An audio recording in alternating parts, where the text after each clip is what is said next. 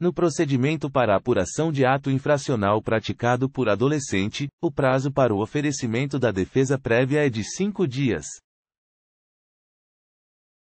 Analisando a questão, você responde: verdadeiro ou falso? O gabarito é falso. Artigo 186. Parágrafo 3. O advogado constituído ou o defensor nomeado, no prazo de três dias contado da audiência de apresentação, oferecerá defesa prévia e rol de testemunhas.